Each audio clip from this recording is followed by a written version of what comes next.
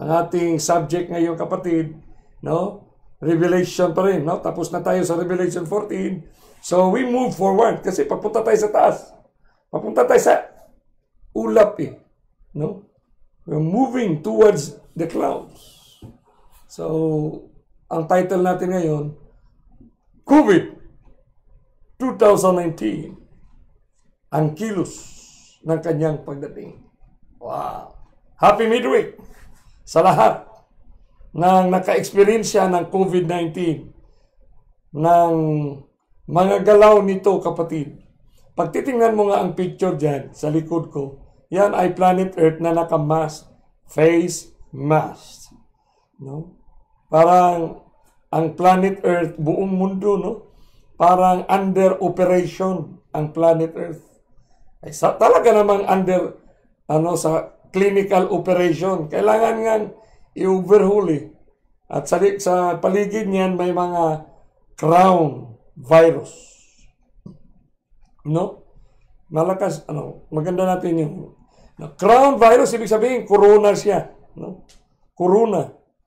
Gaano ba kalayo yung crown of death na ito? Kasi death ang kanyang binibigay. Crown nga siya pero means death. Gaano kaya kalayo siya sa crown of life? Yung reward ba na ibigay ng Panginoon sa atin? As you read James 1, as you read, uh, as you read Revelation chapter 10, chapter 2, verse 10. No? So crown, no? sa ating generation, yung mga indicators na binigay ng langit. Halos hindi na ito matinag. It's getting closer in its in implications. It's getting clearer in its intentions. So the intentions of God and its movement is getting clearer to us. So paano natin titingnan? No?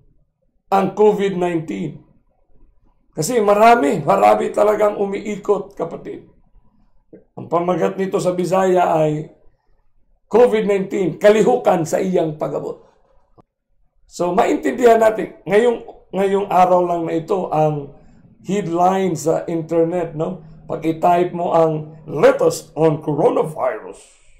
Coronavirus, Scoutland, Nikolai Sturgeon to announce new restrictions one hour ago.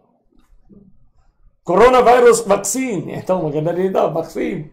Itong hinihintay ng mundo eh. Corona vaccine that could end pandemic. Tapos quote, quite some way away. Parang malayo pa daw. Wells First Minister warns. COVID cases from Guardian via Yahoo News, Singapore, two hours ago. COVID cases and death today. Coronavirus in United Kingdom map. No. Dito natin makikita na grabe ito ang kanyang ano, whole world. Whole world ito kapatid. Paano natin i-engage ang ating mga pananaw at ang ating mga puso't isipan sa mga kaganapang ito? Si ano nga, si WHO Chief Tedros sabi niya, across all walks of life, we are all being tested to the limit. From countries where there is exponential growth to places that are loosening restrictions are now starting to see cases rise again. Only aggressive actions combined with national unity and global solidarity can turn this pandemic around. So we are seeing right now reality from the words of our head, ng mga stakeholders ng planet Earth para sa ating kalusugan. According to Ryan, nonetheless added, accept the fact that in our current situation, it is very unlikely that we can eradicate or eliminate this virus. Bigat na. Unlikely. Changing tack, Tedros sounded another warning. So warning, no? So makita mo na lahat yung, yung relevancy relevancy ba? Yung connectivity ng pangyayari sa ating mundo at ang sinabi ni Kristo sa bibig niya sa river, sa mount at sa island. At saka yung importance of the call na itinatag ka para i-proclaim mo ang isang gawain. Gawain ng proclaiming the warning. Saying that the COVID-19 crisis had raised questions about humanity's vulnerability to other threats. Ibig sabihin, mayroong ibang mga threat. No? So paano natin titingnan itong COVID-19? No? Kasi itong COVID-19, movement din ito siya. The crisis of growing antimicrobial resistance. Ang krisis daw sa lumalago na lumalaban sa mga antimicrobial resistance is a slow motion tsunami where despite the rise in resistant infections, the research and development of new antibiotics has not caught up. Hindi, hindi mahabol eh. Benzodiazepines will be rapid ones. Sinabi ni Sister White.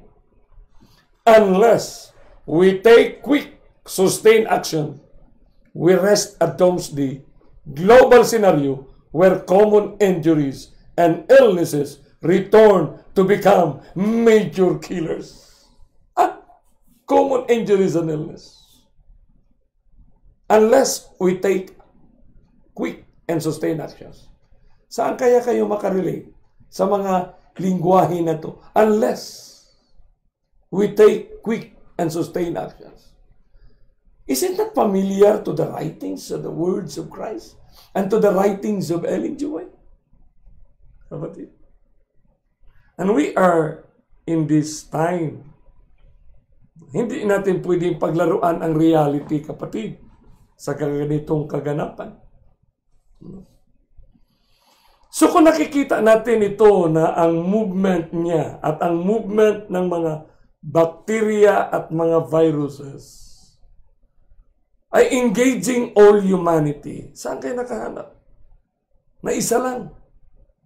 Wear masks, stay at home. So kung ito man ay tinatawag nating problema, krisis sa mundo, paano nating titingnan ito? Ayon sa salita ni Kristo. At paano natin titingnan ang salita ni Kristo na maramdaman natin na buhay at gumagalaw ang kanyang grasya. Si Pipe, His grace is active. His work of redemption is basically active right now. So dapat nating maintindihan kapatid. So shall we bow our heads for prayer? Great God, loving Father, we submit to you now. Our minds, our ears, our eyes. But above all, our heart.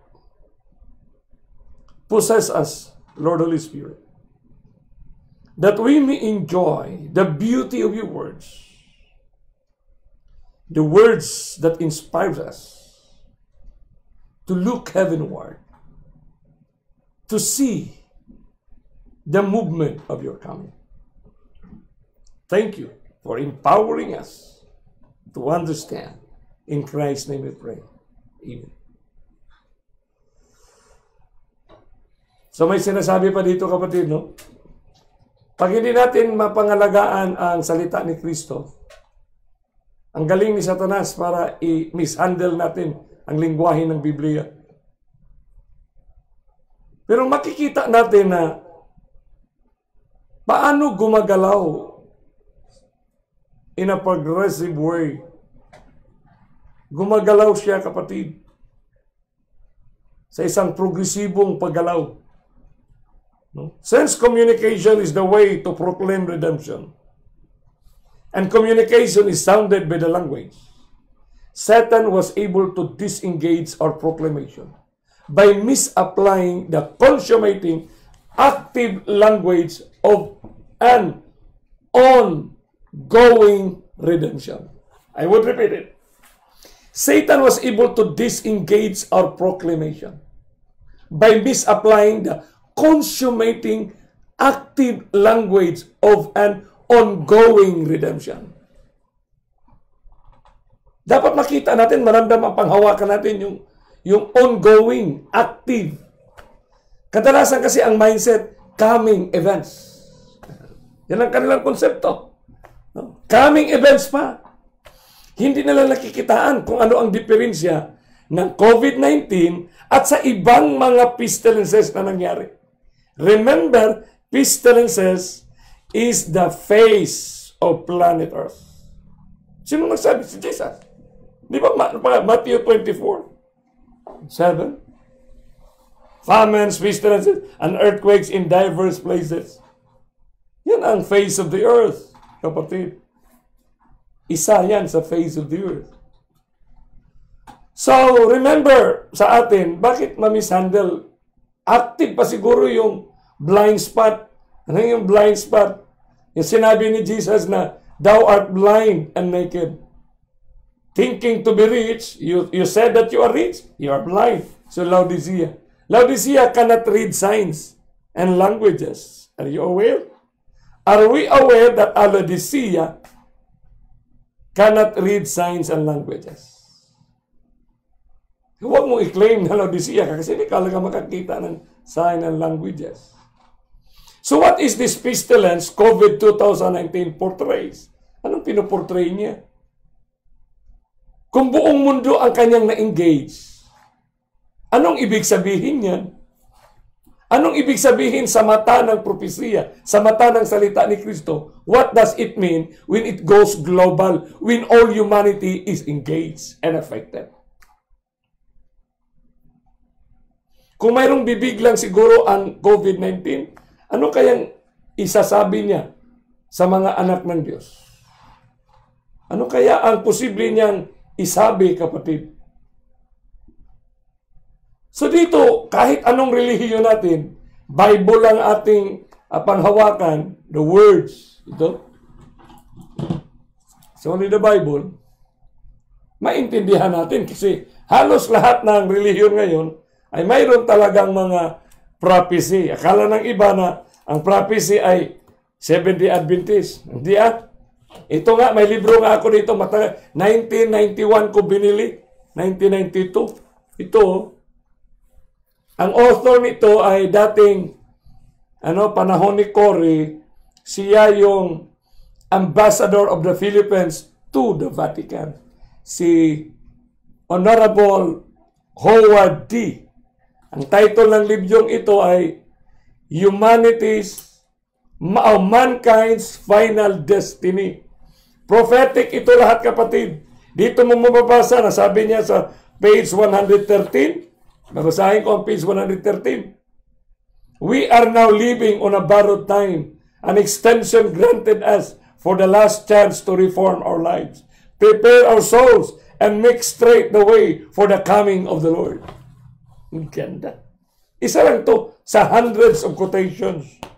Meron pa nga silang sinabi dito na napakaganda ng mga ano nito kapatid, ah, yung mga kailang prophet, papis ito eh.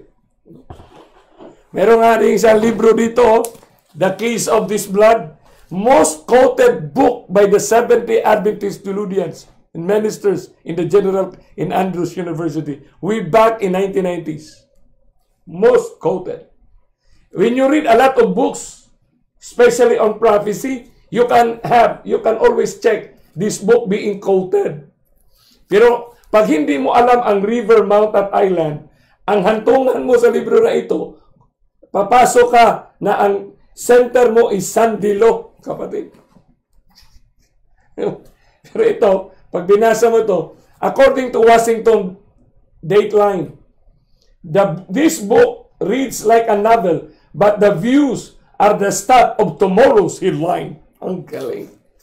1990 pa ito na-release. 1991, nawala yan sa publication. Kasi pag, pag binasa mo yan, great controversy na libro ni Ellen G. White, parang nag-recapitulate lang siya. Ganda nga niyan eh. So dito natin maintindihan kapatid na bakit sinabi na pray most earnestly for the understanding of the times in which you live, for a fuller consumption of His purposes, and for efficiency in soul saving. Ganda, no? Soul saving. Pray most earnestly for the understanding of the times in which you live. Bakit kailangan natin manalangin? Kasi maraming mga introduction, maraming mga ipinasok na nag-mindset sa ating generations. Especially, tayong generation, ang ating generations. Kasi ang, tayo nga ang sasalubong eh. So nakafocus ang kaaway ni Kristo sa ating generation na yung ating understanding ay napaka ano lang, no? It, uh, kunti lang talaga kapatid. Talagang you will have guile in your mouth because you will be proclaiming what na hindi na yung sinasabi ni Kristo sa panahon, sa, ta, sa ating panahon. Kasi may subject eh. Remember, time, space, and matter. We have always to consider these three universal reality. Ano bang isyu ngayong 2020? sa ating story of redemption. Ano ba yung great controversy sa atin? Sa atin ba ngayon? Dapat maintindihan yan, kapatid. Parang ang iba, bumabalik sa... So how do we understand the global condition of today in relation to the movement of the COVID 2019? Most preachers, ministers around the world have interpreted COVID 2000 as the fulfillment of Matthew 24-7. And of course, it is really because pestilence yan eh. Pero simula doon, simula dyan, wala na ba siyang pinuntahan? Kasi plural form yung Matthew 24-7, pestilences, famines, and earthquakes in diverse places. Ilan na bang pestilences ang nangyari sa mundo? At ano ang indication nito? Anong kaibahan ng COVID-2019 as a pestilence sa nakaraang mga pestilence? Ah, yan ang dapat nating makita, kapatid. So, may mga similarity sila kasi pumatay ng marami. Global kasi tinawag pandemic. May mga tao dyan, plandemic daw. Marami nga ngayon, ang isip nila, plandemic. Di ba? What is in it is written that prescribe the movement of coronavirus. Is COVID-19 coronavirus plague or pestilence? Ay, tama na yan. Identified na talaga yan. It's a pestilence and it's a plague. No? Bakit? Ano? Tingnan mo ang original word, makikita natin. So, isa lang ang kanyang engagement sa ating humanity. Wear mask, tapos uh, stay at home. Yun ang kanyang movement sa atin. So pagbalikan natin yung 24-7, yan ang nation shall rise against nation, ang kingdom. So alam naintindihan na natin yan. Yun ang tinatawag na uh, open trade policy, binta, lahat ay ano, competitions. So nag-result tayo na nasira yung ating na uh, ecosystem, ang tinatawag natin yan, bio, yung ating biodiversity ay na-destroy, kaya nag-produce ng famines, pestilences, and earthquakes in diverse places.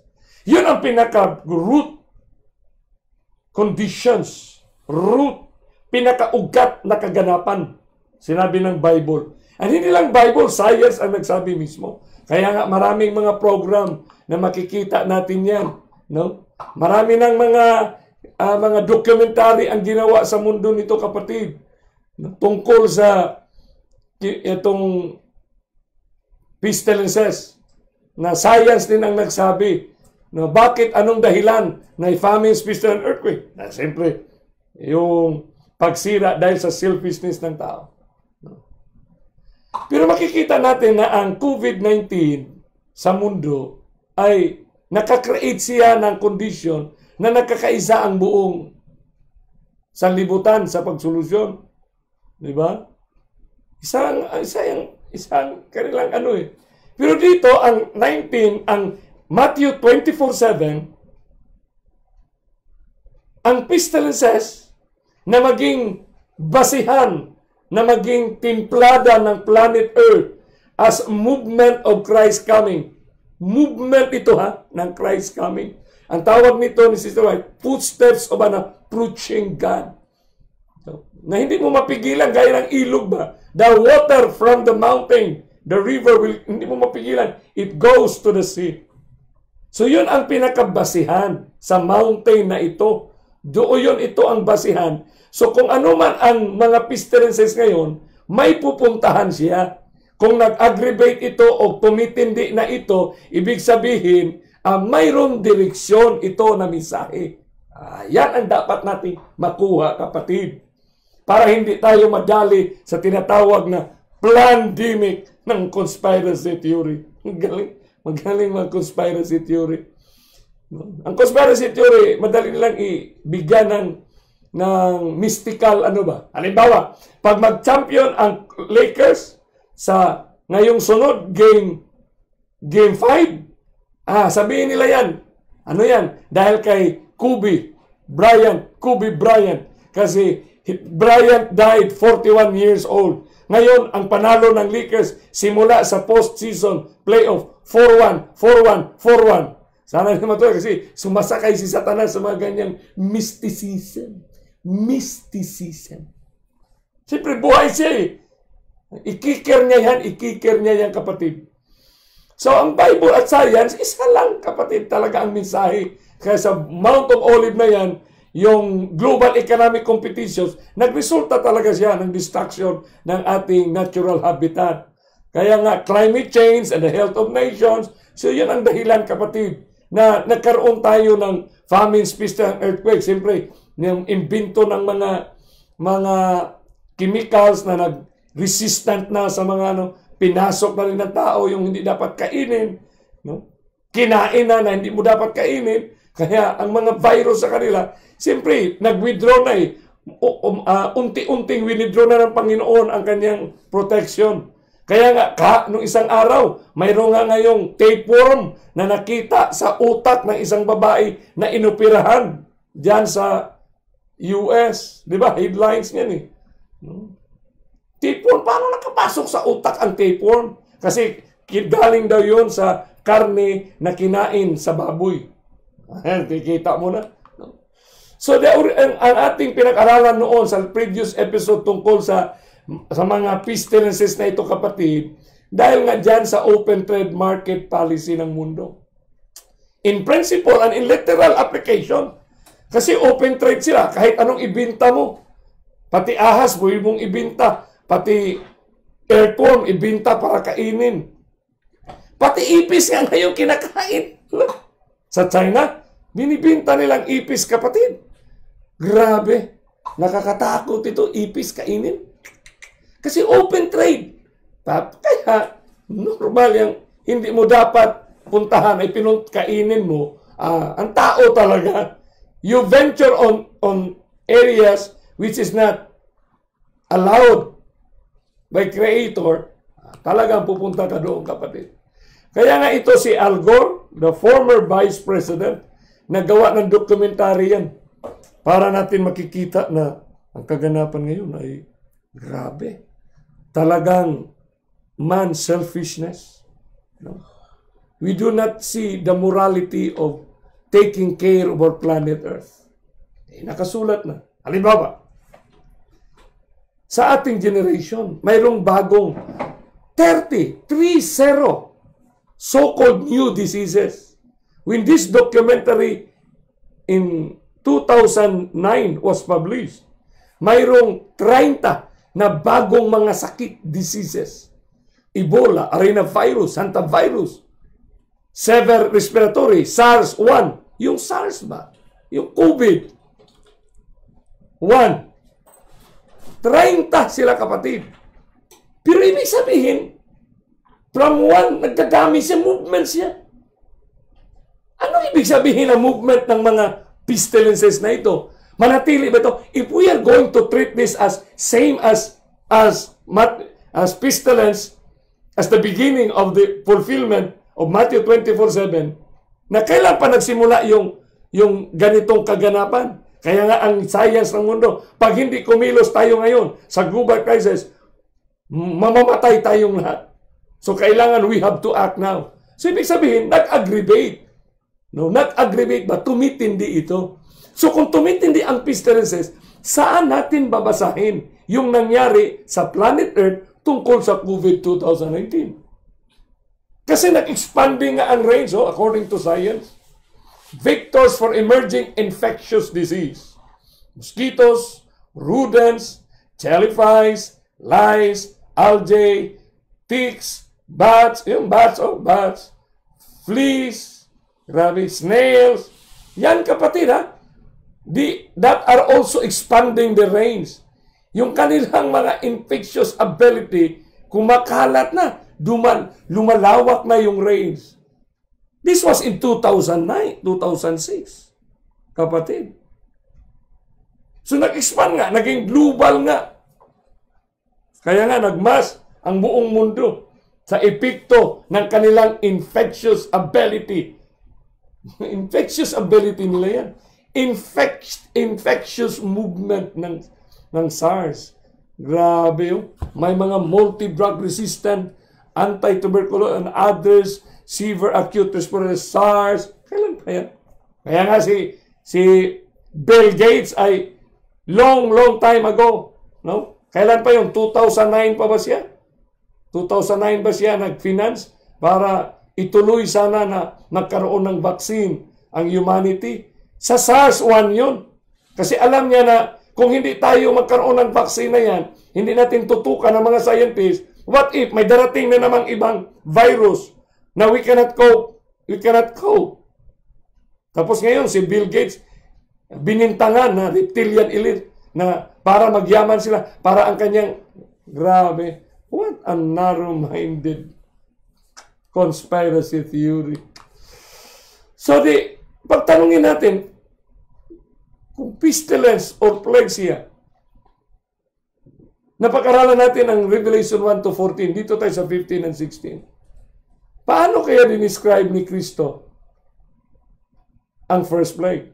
Kung movement na ito ng coming niya, yung coming niya, kapatid, yung appearance niya sa clouds of heaven, na makita natin, sa lubungin natin siya, mangyari yan mauna muna ang seven last plagues. Ibig sabihin, dadahanan talaga natin ito. Sa lifetime natin, madaanan natin ito. Yung chapter 16 na ito. Kung madadaanan natin ito, wala naman tayong problema kasi we, we are preserved and protected. Protected tayo kasi we proclaim the right message. Hindi tayo transmitter ng mga detouring na mga detouring ba na to disengage to na hindi madis, madisengage ang mga anak ng Diyos na makapaghanda. So titingnan natin kapatid ha. Sa atin naman bilang kayo from 1800 kung kailang naitatag ang iba't ibang relihiyon. Ilang taon na ang planet Earth? At ilang taon na rin ang churches natin na ating kinabilangan may mga nag-anniversary 100 years na, may nag-anniversary 150 years na, may nag-anniversary ng mga churches ngayon. So lahat tayo ngayon na membro ng iba't ibang denominations, makikita natin sa science kung gaano tumakbo ang mga pestilences sa mundo. At kung nakikita natin ngayon sa ating pag-aaral na ang mga lingwahe na sinabi ng science at ng kaganapan ay lingwahe din ng Biblia, na, pa, na para makita natin na buhay ang salita ni Kristo, buhay ang salita ng Diyos. So dapat aware tayo at magkaroon tayo ng pusong uh, a watchful eyes. Kaya pray and watch. Bantayan mo, tingnan mo. So sa atin, 157 years na ang ating theological exposition about the consummating signs of Christ coming na ma-fulfill, ma-fulfill, ito unto the ushering para i-accept tayo sa naka-number na wrath of the Lamb. Pero yung iba, ayaw, ayaw. Takot sila para, para daw, i-proclaim, itong seven last plagues kasi Ano ikatakot mo dyan hindi naman para sa iyo yan? Kapatid, kaya nga mag-warning ka kasi parating yung wrath of the Lamb. Kasi ito, wrath of the Lamb. So, nakalimutan na lamp yan. Lamp. The, the lamp of God. Lamp yan, kapatid. Si Kristo yan. So, ikaw na sumusunod kay Kristo, hindi ka, kikita mo ito. So, ano yung, to the actual literal physical meeting of Madakla must be solemnly evaluated to effect preparation. Paano natin bigyan ng value ito ngayon? Ngayong gabi. Although matagal na, ilang buwan na itong itong COVID-19, ilang buwan na na naka-freeze ng ating mga pananampalataya. Ilang buwan kayo na hindi nakapunta sa simbahan ninyo. Ilang buwan. Kami dito, hindi kami na problema kasi in our life, wala kaming natigil kasi nagsimba talaga kami sa simbahan. The whole time. Not a, not a Sabbath that we missed. We are in the church because God provided us with the protection to keep the Sabbath in the church. Because foremost, konfektado. No? So ngayong gabi, makikita natin. No? Kasi alam naman natin yung the hour of His judgment is come. Dumating na yung judgment na yan. So, yung judgment na yan ay isang biyaya, grasya, na magbigay sa atin ng lakas upang i-proclaim ang tamang mensahe sa tamang panahon. Kasi siyempre, judgment, instruction ng langit yan eh. Pag sinabing judgment na dumating, uh, may instructions yan. You live a life. Di ba? Pag sinabi ng judge, you are uh, you are not guilty. Live a free life. Go. He keep it the path of the of judgment. Talagang ang anak ng Diyos, no? He keepeth the path of judgment and preserveth the way of His hands. Grabe ang pangako ng Panginoon sa atin. Talagang iningatan niya yung daan of judgment.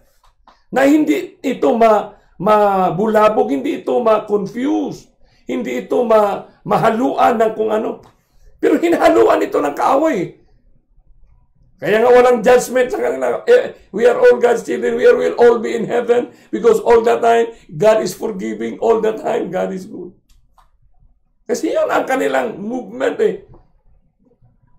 Pero sa mga anak ng Diyos, makikitaan natin, no? from the time na ina-establish ito, paano natin i-view ngayong 2020, patapos na ito ngayon, October na tayo, paano ba nag, nag-progress yung time and the movement of pestilences para in the ushering of the first plague?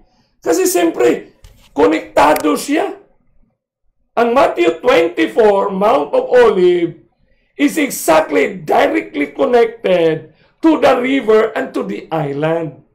Kasi isa lang ang mensahe nila, Apocalypse. Ibig sabihin, closing events, kapatid. Huwag niyo kalimutan, ha? iba ang eschatology, iba yung apocalyptic. Okay? Iba. Pero malapit lang sila kasi studies of last day events ang eschatology. Pero ang apocalyptic, studies of closing events. Tawag niyan, studies of time of the end. Yan. So dito natin makikita ngayon, hmm, sandali, nawala. Yan. Dito natin makikita na ang first plague maintindihan natin. So, chapter 15, 16 tayo ngayon kasi bukas pa ang ating chapter 17. Dalawang presidente sa isang bansa. Mayroon palang ganun. So, makikita natin dito ha. At verse 15, verse 1, and so another angel, I saw another sign in heaven. Another sign, great and marvelous. Seven angels having the seven last plagues. For in them is filled up the wrath of God. So, mahir, bihira lang nag-sermon nito kasi nakakatakot daw. Ano mo nakakatakot? Glorious nga ito ng mga pagkaganapan. Kasi movement ito ng coming King who is going to renew, who is going to restore us, who is going to make this planet Earth a beautiful, new again. I-restore niya. And as it were a sea of glass mingled with fire, nakita niya, I saw and them. Nakita niya yung mga, nak, nakita ni John tayo. I saw as it were a sea of glass mingled with fire. And them that had gotten the victory over the beast. Huwag na tayong mahiya. Tayo, nakita ni John. Over the beast, na panagumpay, and over his image, and over his mark, and over the number of his name, stand on the sea of glass, having the harps of God. Grabe, them. So, hindi na woman, ha? Them. Possessive pronoun. And they sing a song of Moses, the servant of God, and the song of the Lamb, saying, Great and marvelous are the works. Lord God Almighty, just and true are thy ways, thou King of sense. Tapos in verse 4, sinabi dito, Who shall fear thee, O Lord, and glorify thy name, for thou only art holy. Itong maganda. For all nations shall come and worship before thee. Ano ibig sabihin nito? Lahat ba ng tao sa mundo makonverter, mag-worship? Tandaan natin kapatid, ang previous chapter nito, virgins, tandaan natin din na sa Mount of Olive, mayroong sinasabi doong 10 virgins. Five are wise, five are foolish. Tandaan natin, may faithful servants. Remember, napag-aralan na natin, whole humanity are now going into religious pluralism. Lahat ngayon sila. Pag binasa mga ito, kapatid, bitsahin nyo ito, grabe ito. Talagang all humanity has to worship God. All humanity, kailhangan talaga to recognize. Ito, yun, yeah, for all nations shall come. Ito, humanity's final destiny. Pag binasa mo ito, kapatid, mabibili mo ito. Diyan sa cellphone. For all nations shall come and worship before thee. Normal yun sa tao. Na in an event na hindi na masolusyonan ng kanil ng human power. Tinatawag natin global medicinal power or global solutions ang planet Earth na na pangyayari normal sa tao na pupunta yan doon sa sa ano sa higher being. I-recognize yan. Kaya nga for all nations shall come and worship before thee. They will have to go. They will have to worship God patigil mo iligtas mo kami di ba ang panawagan na let us pray together para matigil na ang COVID-19 in other words these words in Revelation 15 is exactly fulfilling in our very own generation. But that just mean because they worship God, they will be in heaven. Ah, my beloved friend. Yung five foolish virgins nga, naghahanda pa nga yun. Ano, ako naghihintay. Naghihintay sila. Hindi sila naghahanda. Naghihintay nga. Naghihintay ka, ika nga. For the judgment are made manifest. Yung nga, kulon nga eh. Kaya nga, for thy judgment are made manifest. So, ibig sabihin, kung nakita, nag-manifest na itong mga tinatawag nating mga natural events, kapatid, nag-manifest na, it's just smooth and academic. It's just simple and basic na ang humanity, all nations shall come and worship before thee. Bakit? Siyempre yan. Napainom na nga sila eh. All nations have drink the wine. Anong wine? Di ba? Yung theology na post millennialism, yung theology na naging global philosophy, na dito new humanity, new spirituality, the partnership of state and religion. Plastado na yan. Huwag na kayong mag-isip ngayon na darating pa yan na movement. It's all been in place, my beloved brothers and sisters today. The evidence, eh, puntahan mo bukas. Tingnan mo ang mga programa. The headlines of the news. You read Time Magazine. And in verse 5, and after that I look, and behold, yan, kita ni dyan. And after that, nakita niya na ganito ng mga tao na manifest na. And after that, I look, and behold, the temple of the tabernacle of the testimony in heaven was open. Allah, open na ito kapatid. Verse 6, Nang na-open, and the seven angels came out of the temple. Siyempre may manifestations na. Mayroon ng precursor. Precursor, nag-self-inflict destruction ang humanity. Self-inflict destruction. Having this, ito ngayon, dahil dito, ah, dito na ngayon, ah, having the seven plagues, clothed in pure and white linen, and having their breasts girded with golden girdles. Seven angels.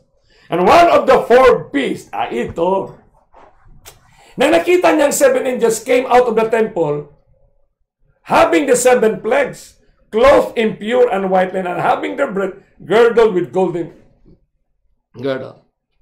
May hawak sila. Pero dito siya kapatid. And one of the four beasts, yung creature sa langit, yung four beasts, give, tingnan nyo ang verb, gave, unto, ha? Gave unto the seven angels seven golden vials full F-U-L-L full of the wrath of God who liveth forever and ever. One of the four ibinigay sa seven angels.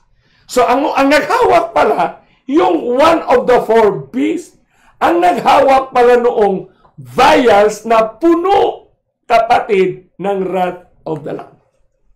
Take note, full. Pagkatapos niyang 15, chapter 15 na yan, okay, puntahan natin dito na sa chapter 16, and I heard a great voice out of the temple, out of the temple na, saying to the seven angels, Go your ways, and pour out the vials of the wrath of God upon the earth. And the first went and poured out his vials yan, upon the earth, and there fell a noisome and grievous sore upon men, which had the mark of the beast, and upon them which Sinabi dyan, which worship his image. Wow. Noisome and grievous sore. Yan. Napaka-medical pagka sabi ni Kristo dito. Para, anong kaibahan niyan doon sa sa Egypt, hmm, kapatid? Kasi karamihan nag-isip na ito ay kabahong. Kabahong daw ito, kapatid. Saan ka mababasang kabahong dyan? Dahil nga sa noisome and grievous. So, babasahin natin, kapatid. Pag sinabi nating hell, ang paggamit kasi niyan, kapatid, na 1668, yung sor, ang sor diyan, kapatid, sa Greek original word, helkos. Ano ibig sabihin ng helkos? Ang ibig sabihin, ang understanding niyan sa Greek, an ulcer. Ulcer siya. Pag sinabing ulcer, makuha, isip na agad, ah, yan ang sore. Pag yan ang sore, ulcer yan. Ano pang ibang lingwahe niyan? Yan. May lingwahe, lesion. So, sore siya. Pag sinabing sore, ulcer. So, sa medical language, sa medical data ngayon, yun ang COVID. Tinan mo yan. Lungs yan. So, may ulcer, may sore sa loob ng lungs, kapatid.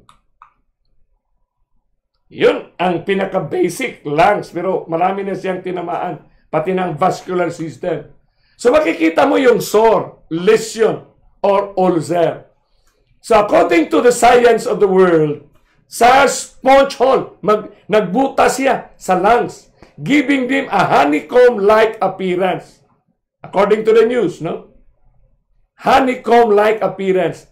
And these lesions, oh, take note ha, are present in those afflicted by novel coronavirus. Anong ibig sabihin ng lesion? pagbasahin mo ang British Dictionary ng sore or helkos sa Greek, ang meaning is inflammation, swelling, lesion. So kung yun ang sore in a noun form, sore spot on the body is special. One, such as an ulcer. So kasi infectious disease, may ulcer, ang tawag siya kanya ulcer, lesion, or sore. Yun ang descriptive niya. Tatlo nga talaga yung kapatid. Eh. So pagpuntahan mo ang description ni Kristo na grievous anoisam, pag sinabing noisam kapatid, ang original Greek word niya is kakos. Apparently a primary word, wordless. Whereas properly refers to that is depraved, injurious. So, pag sinabing noisam or kakos. Injurious siya. Pero kadalasan ang nag-interpret ito ay kabahong, mabaho siya. Kaya hinintay nila ay wala pa, hindi pa ito. Please, I challenge Julidians to revisit the original word, my friend. So puntahan natin ngayon ang isa, yung tinatawag na ito kanina noisam yung grievous. Anong ibig sabihin ng grievous? Ang ibig sabihin ng grievous sa Greek, poneros. Ibig sabihin, hurtful, sakit. Di ba? Hirap maghinga. Painful. Di ba? Ang namatay sa COVID, painful. Kasi injurious siya sa lungs. Kasi injurious siya, masakit siya sa katawan. Kasi may lesion.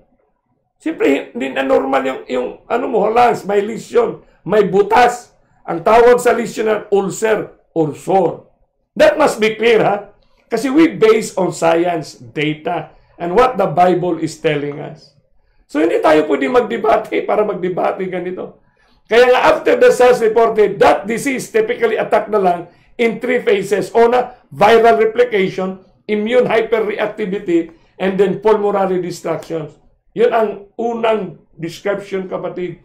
Magdubli siya pag naka-attach siya sa ating respiratory. Viral replication, tapos hindi maintindihan ang ating immune system, kaya nag-hyperreactivity siya. Hindi maintindihan eh. And then formulary destruction na kapatid. So ito ang basic information no, ng SARS. So according to the World Health Organization, lesions, lesions yan.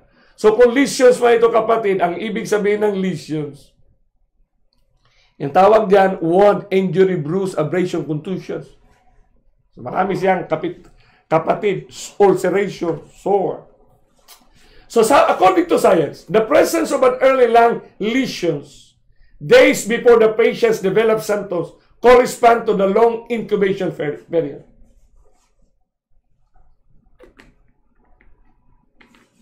Kaya mayroon tayong usually 3 to 14 days ang ating quarantine.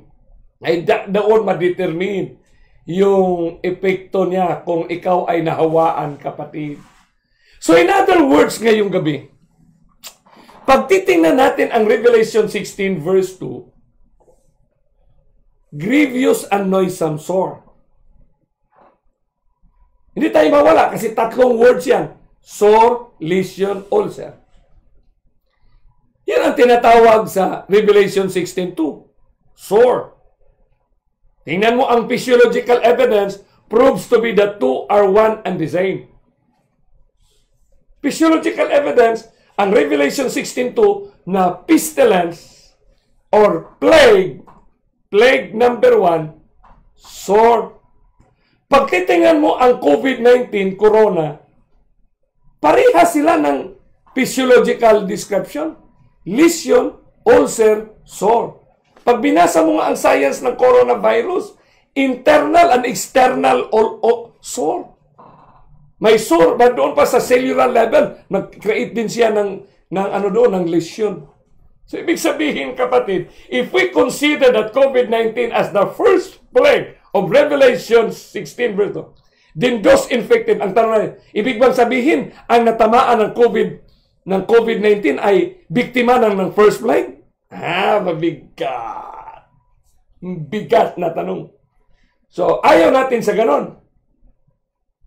If it is not the first plague, matso na pestilence ito, of Matthew 24:7. Then where in the Bible this plague or pa, uh, tinatawag natin pandemic, this plague or pandemic or pestilence, COVID, where in the Bible ang COVID-19 na ito and its movement can be found?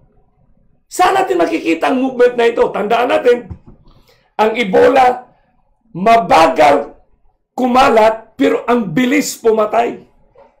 Ang COVID, napakabilis kumalat, pero napakabagal pumatay. Di ba? Less than 1% lang ang pinatapatay niya. Ngayong araw na to, more than 1 million na ang namatay. Pero ilan ang natamaan? Di ba? Ilang milyon? 300 million na siguro. I'm not so sure of the figures, my friend. So dito natin maintindihan na how the spirit of prophecy in the Bible harmoniously prescribed COVID-19 and its movement of novelty. Di ba? Novel coronavirus. Ang ganda. So let us check the truth and nothing but the truth. Did Christ testify? Tinestify ba ni Kristo na ganito ang mangyari sa ating generation? Kaya, those who keep the commandments of God and have the testimony of Jesus Christ. Pag wala, hindi mo hawak, uh, your, your message, your preaching doesn't belong to the Christ movement pronounce, pronouncement. Bigat yan. Kaya, posible pa na. Kung hindi, eh, five police ka, five police para ako virgins. Ang, ang four, five police virgins, kapatid, they are very honest people. They are very good and sincere people. Nag-antay nga din sila, kapatid. Eh. Nag-antayan sila. Sila nga, ano nga eh, kasama nga sila eh. Kasabay nga sila. Ang problema dyan, hindi hawak nila yung testimony, yung truth, na manatiling lumiliwanag yung katotohanan sa buhay nila, na makapagana, nakikita nila agad yung coming ni Jesus. Naghihintay, kaya nga tayo manalangin. Kailangan salamat sa mensahe upang kami ay makapaganda. Kadalasan panalangin sa buong mundo ng mga ating mga churches, salamat sa mensahe habang kami ay naghihintay. Eh, five months naghihintay. Puro paghihintay na lang ating ginagawa. Kaya nga hindi naka-move on. Kaligway pa ng mundo. Kaya according to one source ng Maranatha, oh, manuscript release, bakit sinabi? Dahil sabi di Adventist, kaya marami kayong nanonood. Tingnan natin daw. Wholehearted tayong niyakap natin itong ating kapatid na si Sister Ellen G. White sa likod ko. Di ba? Anong relasyon dito sa sinabi niya sa, ni Kristo sa Revelation, dito sa dagat, no? Para tayo maging asin, maging timpla sa tamang timplada ng langit. At sinabi dito, Manuscript Release Volume 3, 304, Paragraph 2. Kailan ba ito? Air, comma, betrayed by powers of darkness. Ah, betrayed? Already, sprinklings from the vials of wrath of God. Hala, already sprinklings daw from the vials of God's wrath have been let fall upon land and sea, affecting the elements of the air Siyempre lahat kailangan makamas kasi naapiktuhan na ang hangin sa mundo. Pati nga ang bundok na walang COVID ay kailangan makamas. Kawawa naman. The causes of these unusual conditions are being searched for, but in vain. Wow! Grabe! Unusual conditions. The causes of these unusual are being searched for, but in vain. Siyempre, pinagdudahan ang bandulin, abat, kapatid. God has not restrained the powers of darkness from carrying forward their deadly work of vacating the air. Hindi na daw pinigilan ng Panginoon ang kapangyarihan ng madilim para dalhin sa ang ikamatay niyang mga hangin, kapatid. Para madadali pa niya yung mga hindi nakapaganda. One of the sources of life and nutrition with a deadly mayasma. Grabe no? Deadly mayasma, baka patay. Not only is vegetable, not only is vegetable life affected, but man suffers from pestilences. cholera, and unexplainable diseases have broken out. Grabe. Kailan pa sinulat ni Ellen G. White ito kapatid? Sinabi pa niya on Counsel to the Church 333 paragraph 4. Hindi niyo makalimutan to ha. 333.4. Already. Ganda nito kapatid. Already. So makikita ninyo ha, nandito sa ating linya. Sino pa yung nasa ating linya ngayon? Dami ninyo, kapatid. Hindi ko na kayo mapangalanan. Manalangin talaga kayo kasi glancing is not enough. You have to look. You have to focus. Already a few drops of God's wrath. Hala? Already daw. Nangyari na. A few drops of God's wrath have fallen upon the earth. But when the seven last plagues shall be poured out without mixture. Make, see the difference. Without mixture. Ibig ba sabihin, mayroong, mayroong palang hulog na hindi, mayroong mixture. Ah. Kasi ito, when the seven last plagues shall be poured out without mixture. Tandaan nyo pa kapatid, bawat plague may sariling golden vials into the cup of his indignation, then it will be forever too late to repent and find shelter. It will be too late. No atoning blood will then wash the stains of sin. Wala na. Wala nang atoning blood, kapatid, na makapaghugas pa ng stain of sin. Kasi matamaan na talaga, kapatid. So kung already drops na ito, na sinabi ni Ellen G. White. Kanina sinabi niya na kanina yung isang words na sinabi niya already sprinklings the, from the vials of God's wrath. Tapos ngayon, already a few drops. Paano natin ipatayo si Ellen G. White sa mga statement niya na he, she's talking what God have said? Siyempre, hindi naman siya ang pinaka ang source of truth natin, Bible. Testimony ni Jesus mismo. Yung spirit of prophecy, yung life ng words ni Jesus, life ng advanced words ni Kristo. Yun ang ibig sabihin ng spirit of prophecy. Na ito, na pamahagian niya si Sister Ellen White na nagsasabi din tungkol kay Kristo sa mga advanced statement. Yan ang nakapagaganda. But definitely, the solid ground is Christ's own words. Yan. Pero sinabi dito, it's too late. So saan natin makitaan ang fulfillment nito? Manuscript 24, 1891 pa sinulat. Isipin mo 1891. These things are the result of drops from the vials of God's wrath being sprinkled on the earth and are but faint representation of what will be in the near future. So makikita natin yung movement ng pestilences. From Matthew 24, 7. Please, ministers of the gospel. From America down to the Philippines and from the Philippines goes to the whole world. Take note. We embrace the writings of Ellen G. White, but where can we find the words of Christ that Ellen G. White will become standing as her message is the truth. Kasi sinabi niya, drops from the vials of God's wrath. So, ibig sabihin, mga siya from the vials of God's wrath. Paano mangyari na magkaroon ng tulo ang vials of God's wrath? Oh, my beloved friends, the glorious words of Christ right now. Dito natin makikita, kapatid, na bakit ang engagement ni Kristo sa island of Patmos. No?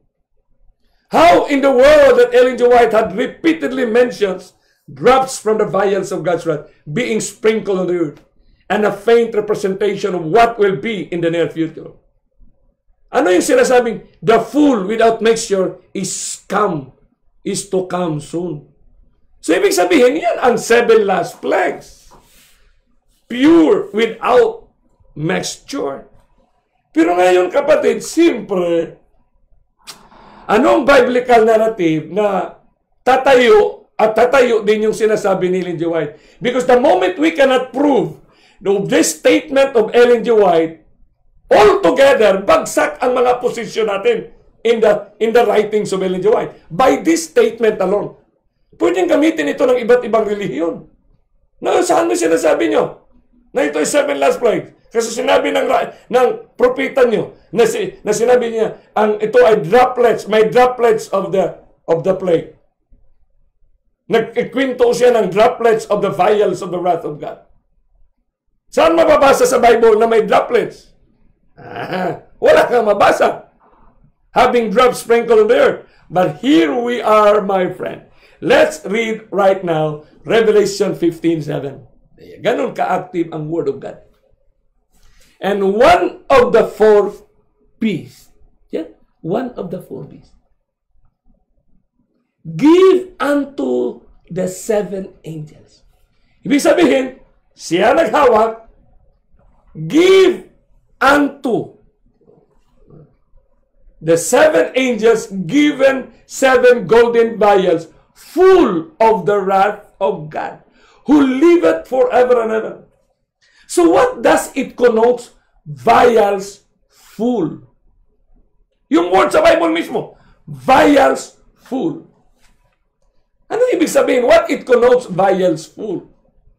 Pag puno ang vials, kapatid, just as this one, ipakita ko yung picture, does vials full conveys spillage? Is it science? Is it the way science will prove to us? When the vials is full, there is the possibility or the presumption of regularity or the presumption of truth that it will go into spillage or droplets coming out upon the movement.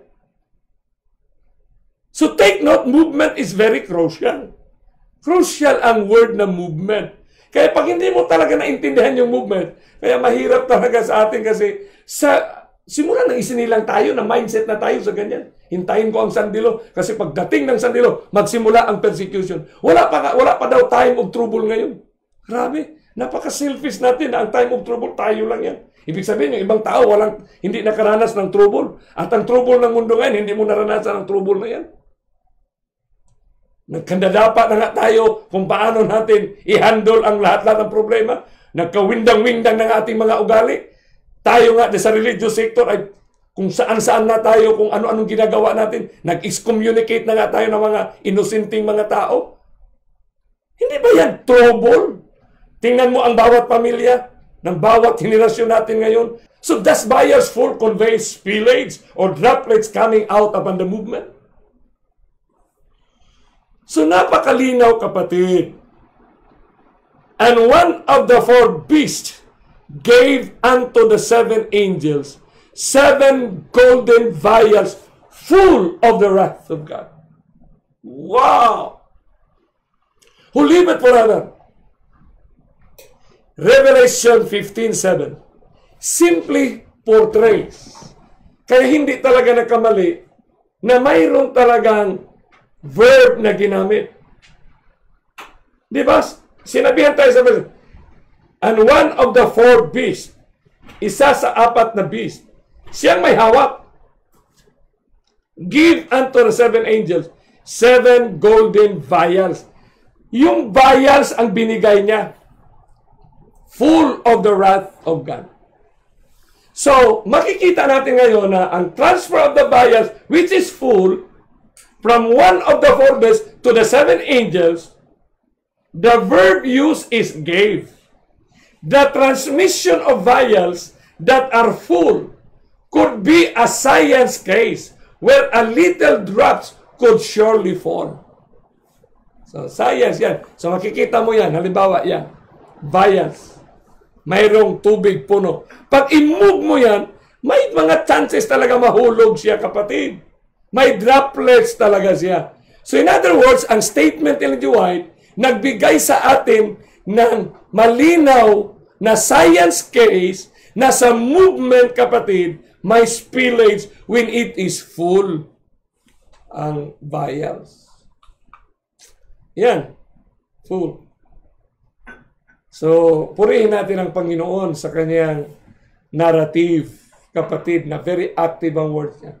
It will be biblically safe for us to proclaim truth or statement of Christ that COVID-19 is just simply drops from drops that fall upon the giving from one hand to the other hand as Revelation 15.7 portrays.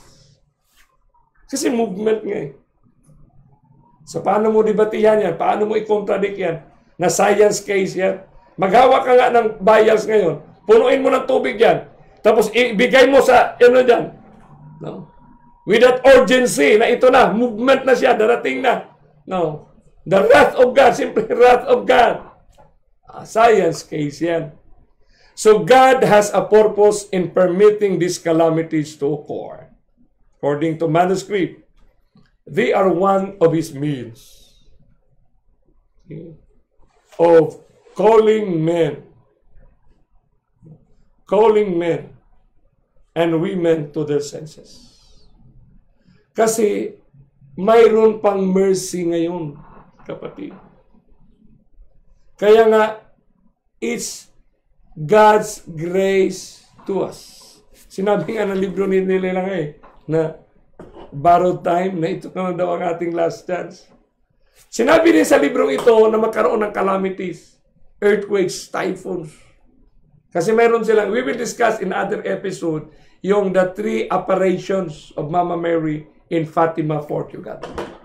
Saan sa Bible yun nakaprophesy na magkaroon ng prophetic prophecy yung three children. Ang ganda yan kapatid.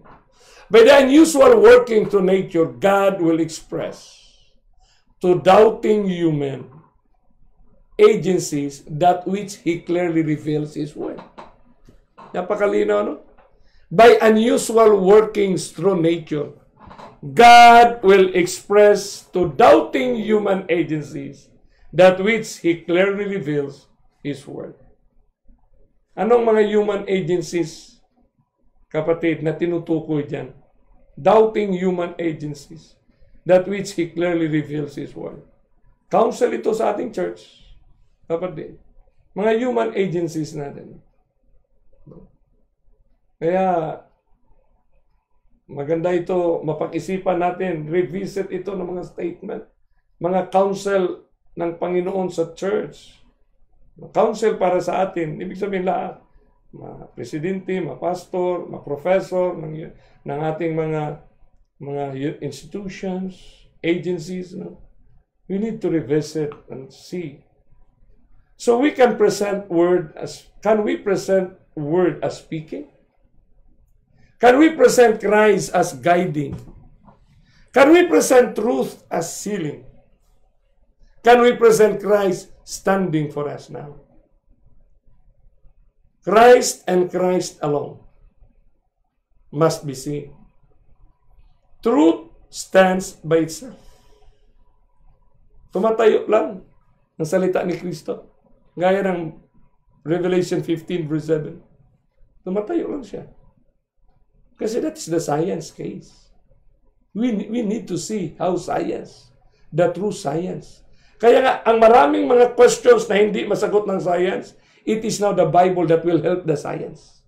Nung 50 years ago, 100 years ago, pinagyabang ng science na sila ang tutulong para ma-prove ang Bible. Eh ngayon, marami silang mga tanong. Marami silang inquiries na hindi na nila masagot. And it is now the Bible that will provide them the answers. Amen? That's a glorious message to all humanity. And this is the best message that we can proclaim to all scientists of the world, doctors of any field right now. Kahit anong doktor pa, specialization ng tao sa mundo ngayon. It is now the time that the light of the word of Christ will shine to them and will eventually lead them to meet Him at the clouds because He is coming to make us, to change this one, to eradicate all the virus and the bacteria, to eradicate sin and death in this planet Earth. Where is Christ in this time? Ang tanong diyan. Kung tanungin tayo ngayon, where is Christ in this time? Where is the Bible in this time of global crisis, my friend? Where is the Bible in the movement of globalization? Where is the Bible? Are we conversing the Bible? Are we communicating? Think about it, my beloved friends. Kahit sino sa atin, simple, bawat isa sa atin ngayon, ma-membro, ma-elders, ma-leaders of the church, missionaries, lahat tayo kapatid. We have to account. Kaya nga tayo bilang tinawag, especially covenanted. Eh, napaka-special. Yung privilege na tinawag ka para ka mag-proclaim. Privilege mo yun eh. Na may trumpet ka para mag-proclaim. Kasi hindi lahat binigyan ng karapatan. Tayo, na nasa hawak na natin ang katotohanan. Kaya napakalinaw na buhay ang salita ng Diyos at sinabi sa 2 Timothy chapter 2 verse 15. Study to show thyself approved unto God. So sa panahon ng judge, sa, sa korte kapatid, when you are in a court, tapos may hearing dyan, sa hearing na yan, may issue talaga sila.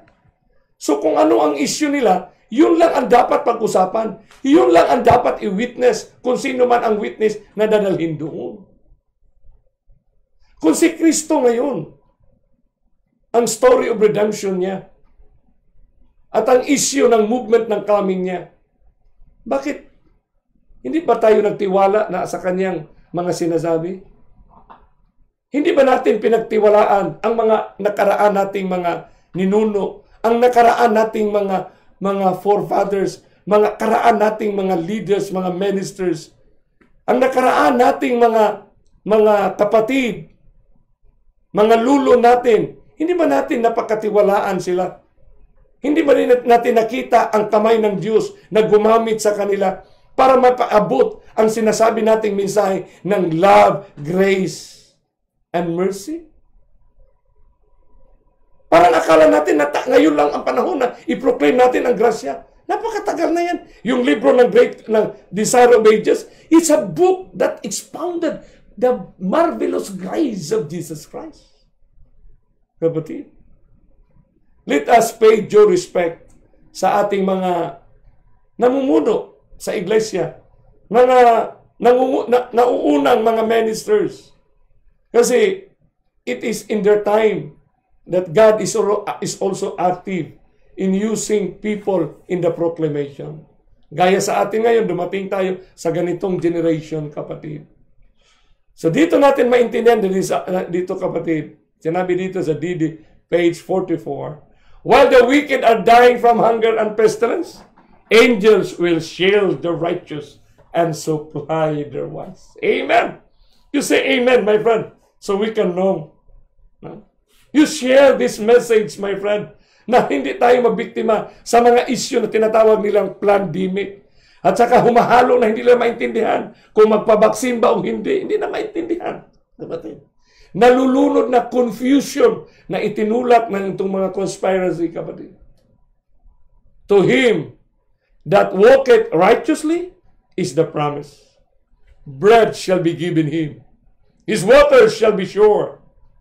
When the poor and the needy seek water, and there is none, and in their tongue faileth for thirst, I, the Lord, will hear them.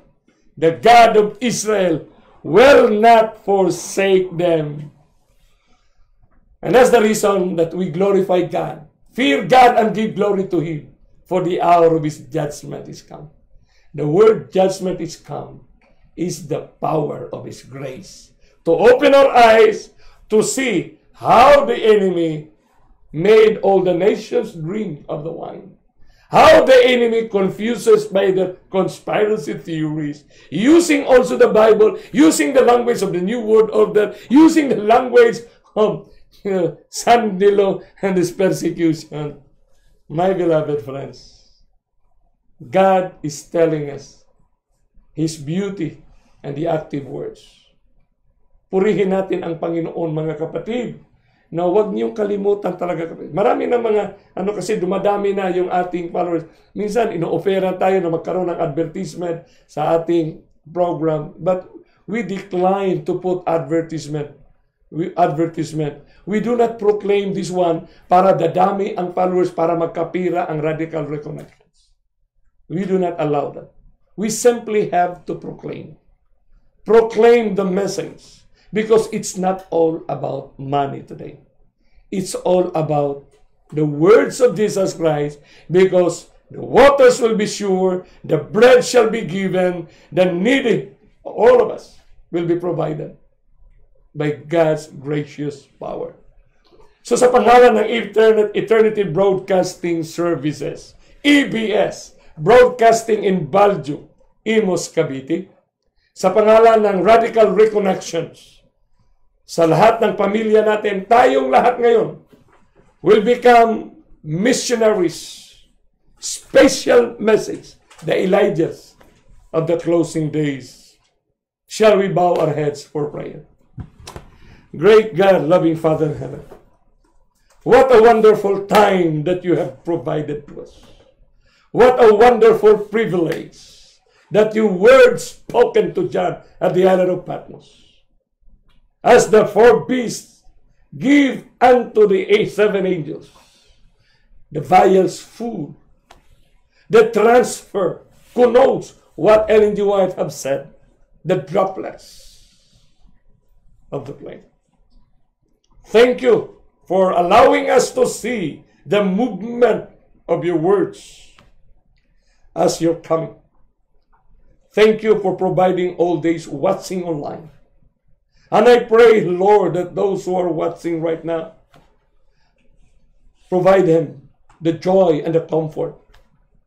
That this time on, from this time on, and from the very time that we accept you as our personal Savior, you are giving us the comfort. You are giving us an inspiration looking forward, meeting Christ at the clouds of heaven. Bless all of us, give us dreams and visions. Help us to share. Take out the pride in our heart. And by humility, allow ourselves to be the vessels. Kami ang maging instrumento. Give our lives to become the vessels for others to know that you are coming indeed, Lord. Thank you for protecting us and thank you for the preservation of our lives in the feeling, in the, in the fullness of your truth, of the river, the mount, and the island.